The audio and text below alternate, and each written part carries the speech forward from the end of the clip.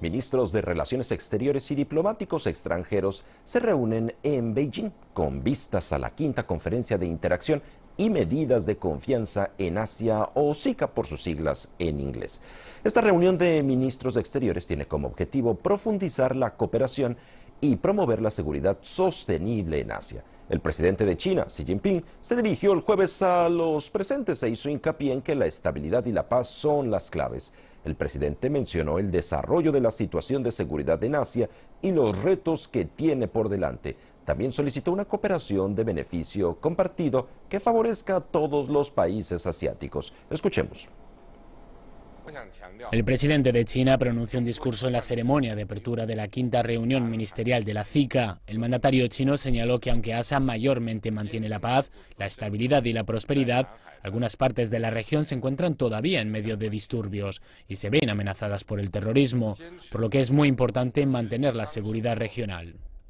El presidente Xi además señaló que los países asiáticos deben profundizar la cooperación en áreas tales como el ejército, la política, la protección del medio ambiente y la cultura. Los países deben colaborar para hacer frente a las nuevas amenazas y nuevos retos. El presidente de China indicó que Asia debería facilitar el desarrollo de las diferentes civilizaciones, así como la comunicación entre las mismas. El continente tiene un origen étnico y cultural diverso, con diferentes sistemas sociales, por lo que todas las partes deben trabajar con el objetivo de una comunidad más inclusiva. Se instó a las presentes a promover la seguridad a través del diálogo y la negociación y resolver los conflictos por medios políticos. También destacó que espera que Asia pueda establecer un mecanismo de seguridad que se adapte a sus características específicas. Asia tiene una tradición de apertura e inclusividad y esto podría ayudar a facilitar la estabilidad y la prosperidad regional.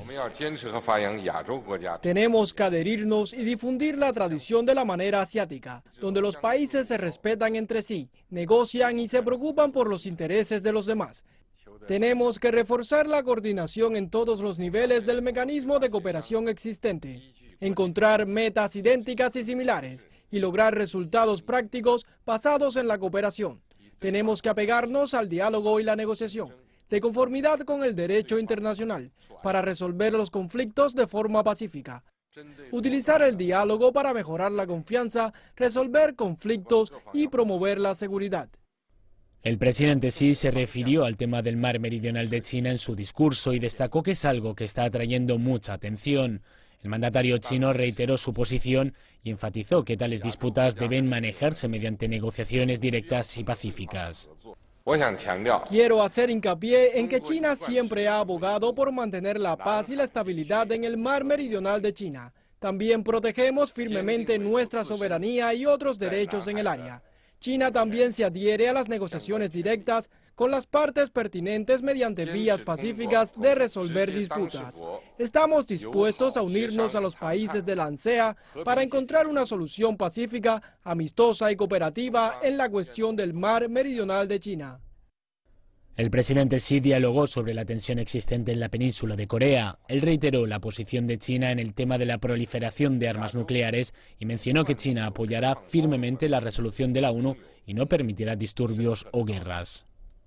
Por otro lado, el presidente de China también habló sobre la reconstrucción de Afganistán y la crisis en Siria. El presidente Xi señaló que China está dispuesta y le gustaría trabajar junto con otros países para crear un futuro mejor para Asia. CCTV en español.